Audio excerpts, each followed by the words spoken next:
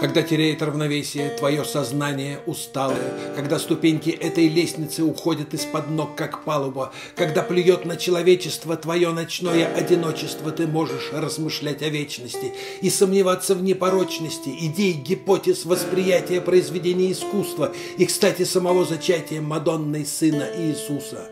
Но лучше поклоняться данности с глубокими ее могилами, которые потом за давностью покажутся такими милыми. Да, Лучше поклоняться данности с короткими ее дорогами, которые потом до странности покажутся тебе широкими, покажутся большими, пыльными, усеянными компромиссами, покажутся большими крыльями, покажутся большими птицами. Да, лучше поклоняться данности с убогими ее мерилами, которые потом до крайности послужат для тебя перилами, хотя и не особо чистыми, удерживающими в равновесии твои хромающие истины на этой выщербленной каменной лестнице.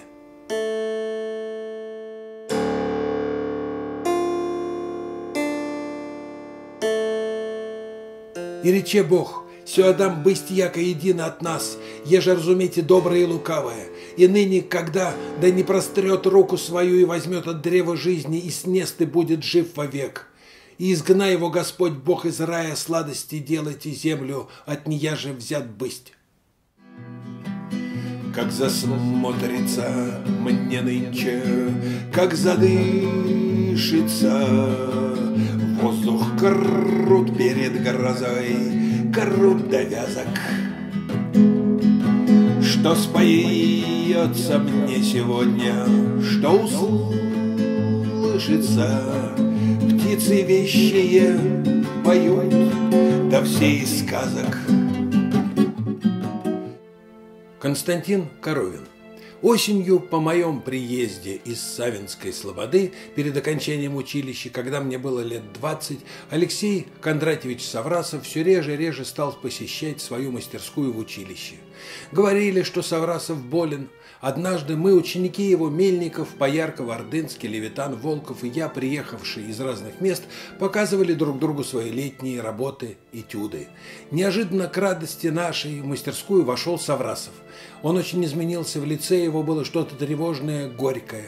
Он похудел и посидел. Нас поразила странность его костюма. Одет он был крайне бедно, на ногах были старые серые чулки, опорки, черная блуза, повязанная ремнем, на спине был плед, шляпа с большими полями, грязная и рваная, шея повязана была красным бантом. «Ну что?» – сказал он, как-то странно улыбаясь. «Давно я у вас не был, да? Давно болен я и... и вообще...» Мы показывали ему свои работы, с каким-то трепетом ждали, что он нам скажет, удивленный его печальным взглядом и странностью одежды, раскладывали на полу этюды. Алексей Кондратьевич, сидя, смотрел на них, прося некоторые поднять и держать в руках. Как молодо, как прекрасно, свежо. А вот тут замучено. Старался очень, не надо стараться. Муза не любит. Да, да. Вы знаете, муза есть, есть, редкий с кем, с кем она в дружбе. Капризна муза, заскучает, уйдет. Как вы думаете, муза легкомысленная или серьезная? И Саврасов как-то вопросительно посмотрел на нас, странно улыбаясь, добавил, «Муза умная дама и дружна бывает с самым легкомысленным человеком. Как странно, ну да, прекрасно, молодо, мне нравится, что вы никому не подражаете». И вот недавно погас юный, как вы, Васильев. Этот художник был огромный, я поклонялся этому юноше. Умер в Крыму горловая чехотка.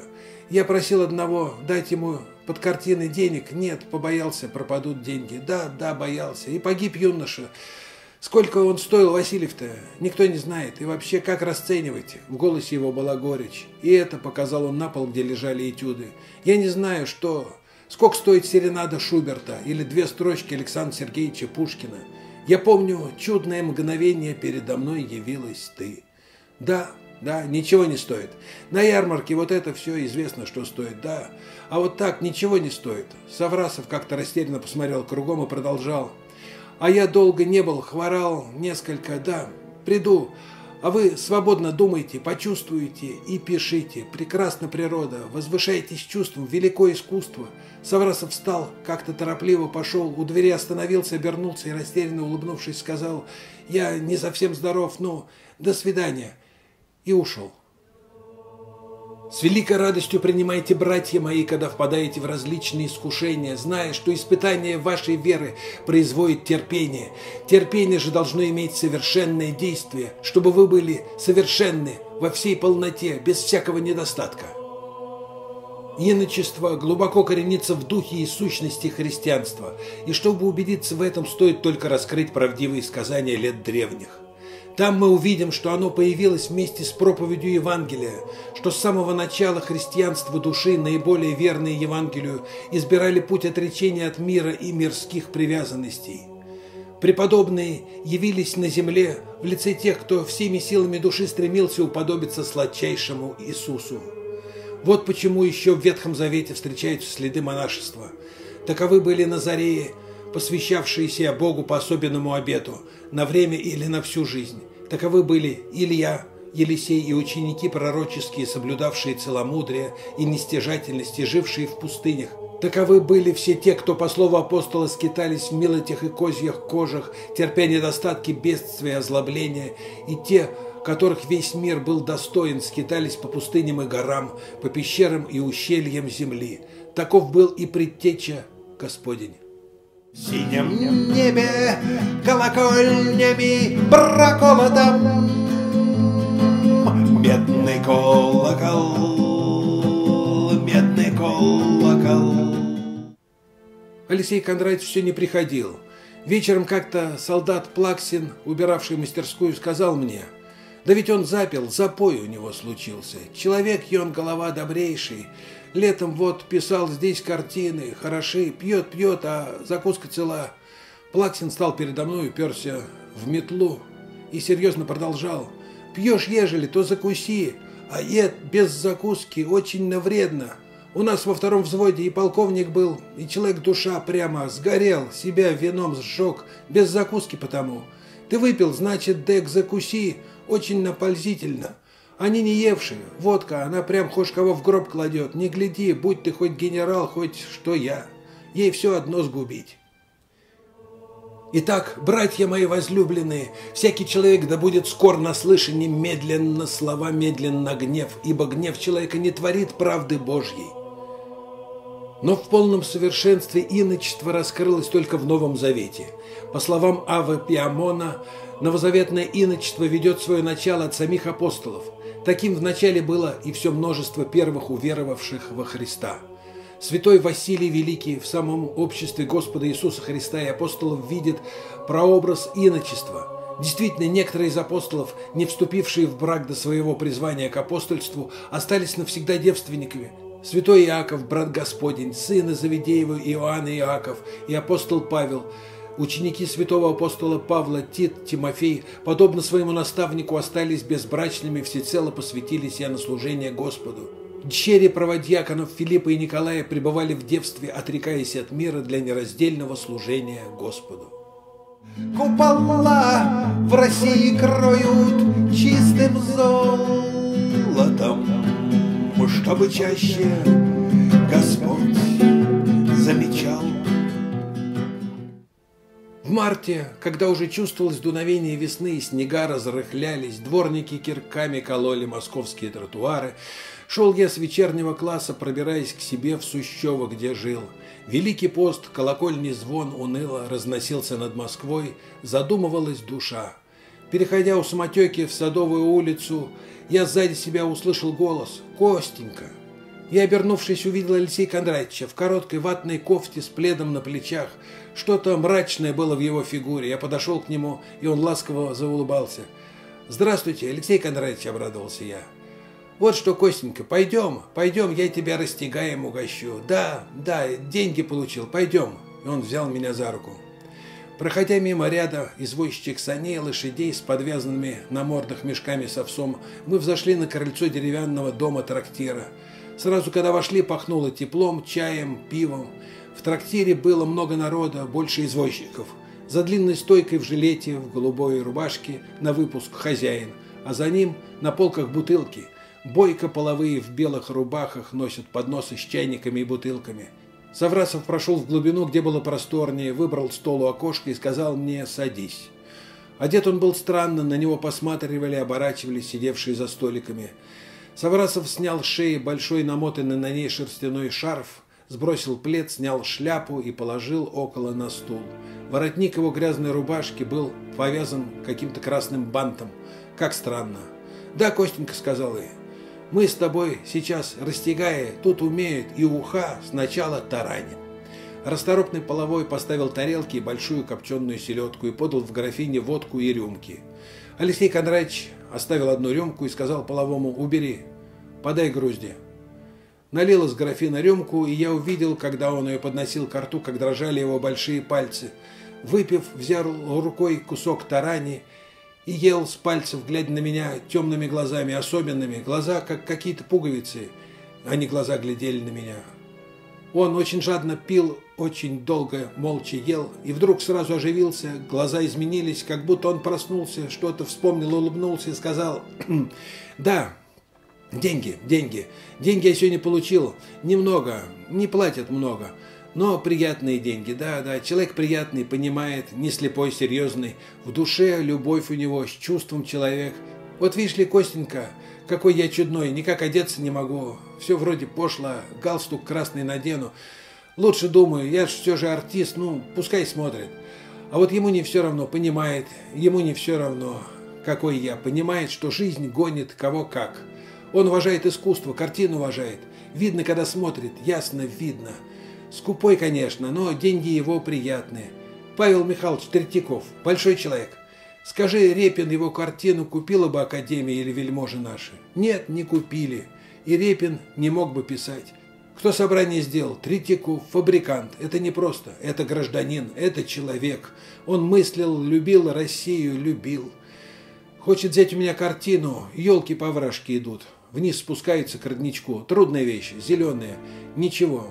Не окончено, не могу окончить, лето жду, зимой не могу.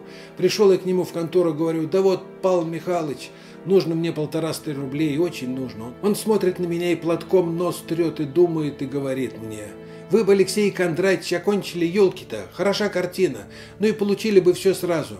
Да, подождите, говорит, эх, ма, я сейчас вернусь, принесу вам из конторы деньги. И ушел. Как странно подумал я и сделалось мне как-то страшно и унизительно. Я взял и ушел. Рукавишнику он говорит, за что это обиделся на меня Саврасов. И нашел он меня, да, нашел. Только елки я уже отдал другому. Хороший человек, да, да, всем чужие мы. И своим я чужой, дочерям чужой. Если кто из вас думает, что он благочестив и не обуздывает своего языка, но обольщает свое сердце, у того пустое благочестие.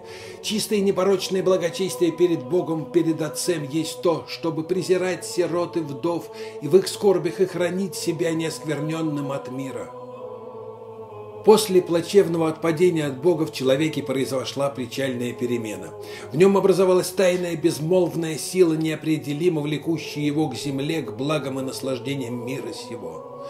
Это было вполне естественно, не направляясь более вверх к живому, святолюбящему Богу, как к высочайшей цели желаний, дух человеческий по необходимости низвергается вниз, в мир земных благ, беспокойно страстным желанием наполнить образовавшуюся от удаления от Бога пустоту. И вот нет конца, нет насыщения, не насытится око зрением, не наполнится ухо слышанием, и вот суета все и томление духа. Множество конечных целей никогда не удовлетворит духа с его бесконечными стремлениями. Я стою, как перед вечною загадкою, Пред великою да сказочной страною. Перед солоно да горько кисло-сладкою, Голубою родниковою ржаною. Саврасов налил водки и выпил. Куда, куда уйти от этой ярмарки? Кругом подвал, темный, страшный подвал, я там хожу. Глаза Алексея Кондратьевича остановились и тупо смотрели куда-то. В них была жуть.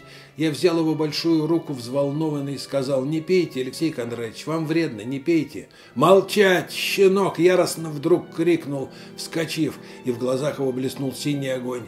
Он быстро пошел по трактиру к стойке буфета, как-то топая по полу опорками. Одна опорка соскочила с ноги, он нагнулся, стал растерянно тянуть чулок и упал. Я подбежал к нему, надел опорку на ногу, помог встать. У стойки он платил деньги, еще пил, вернулся к столу, обмотал шею шарфом, надел плед, шляпу и сказал «пойдем». Фонари светились у крыльца трактира. «Прощай, Костенька», — сказал он, — «не сердись, не сердись, милый мой, не сердись, болен я. Я приду к вам, когда поправлюсь. Вот довели меня, довели. Пойми, я полюбил, полюбил горе. Пойми, полюбил унижение. Пойми, я приду, прощай, не провожай меня» и, повернувшись, пошел, шатаясь у забора переулка и скрылся в темноте ночи.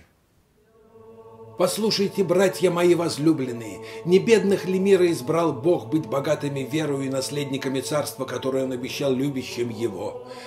А вы презрели бедного, не богатые ли притесняет вас, не они ли влекут вас в суды, не они ли бесславят доброе имя, которым вы называетесь? Ни у одного народа это всецелое увлечение внешним миром не выразилось в такой яркой, в полной законченной до художественности формы, как у древних греков. Всеми силами души, всеми своими стремлениями они погружены были во внешний чувственный мир, смотря на земную жизнь как на законченное целое и почти совсем не задумываясь о жизни вечной. Как дивно прославляли они благо земной жизни, какая чудесная картина развертывается перед нами в песнопениях Гомера. Весь мир полон дивной гармонии. Нет нигде разлада ни в жизни природы, ни в жизни человеческой. Даже несчастье, даже слезы не портят этого жизненного ощущения, которое ощущается при чтении Гомера – они лишь не более как игра света и тени в чудно-прекрасной картины. Все божественно, человечно, смысл жизни в самой жизни, в наслаждении ее дарами. Но влекут меня сонной державою, Что раскисла, опухла от сна. Проходя к дому в Сущево, вижу за забором темный сад – и в ветвях деревьев слышу шелест птиц. Дома лег в постели, подумал, подвал, Алексей Кондратьевич, Алексей Кондратьевич, как страшно. Утром солнце светило в окно. «Смотри, Костя», — сказала мама, — «встань, посмотри в сад, грачи прилетели». И я видел, как большое лицо матери обращено вверх на деревья сада. Я ушел к себе в комнату и, уткнувшись в подушку, горько заплакал. Вера, если не имеет дел, мертва сама по себе. Но скажет кто-нибудь, ты имеешь веру, а я имею дела. Покажи мне веру твою без дел твоих, а я покажу тебе веру мою из дел моих. Ты веруешь, что Бог един, хорошо делаешь, и бесы веруют, и трепещут. Но хочешь ли знать, неосновательный человек, что вера без дел мертва? Но вот пришло Евангелие. Оно открыло миру новый неведомый язычеству смысл жизни. Перед очами мира засияла новая красота, перед которой поблекла красота мира сего. В мир явилась божественная мудрость, научившая людей жить для смерти и умирать для жизни. Огонь, низведенный Спасителем на землю, попалил прежнюю и воспламенил новую жизнь в ней. Вместо героев, увлекавшихся борьбой, вместо гостей, увенчанных миртом, розами, вместо веселых хоровых песен явились другие люди с другими стремлениями. Не чарующие добравы, не светлоструйные ручьи, не изумрудное море, не очаровательные ландшафты, веселые лады, нет.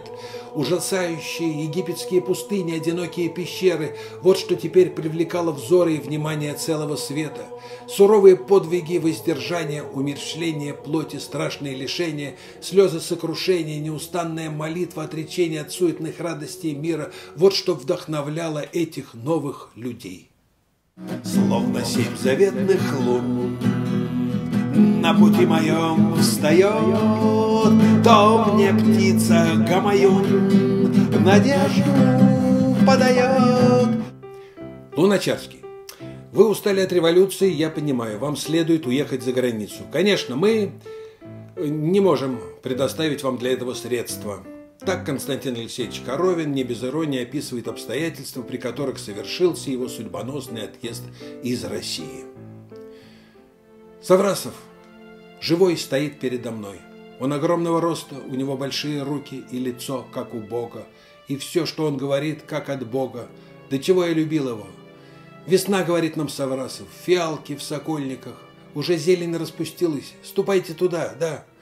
На стволах ив желтый мох блестит, отражается в воде. воды весны. Да, ступайте. А как писать, помню, спрашивает его ученик Волков. Писать, не удумевает Саврасов. Надо почувствовать, чуть тронуть только. Надо видеть, да, почувствовать красоту, природу. Если до крови ласку источал. Золотаю, золотыми я заплатами Чтобы чаще Господь замечал. Чтобы чаще Господь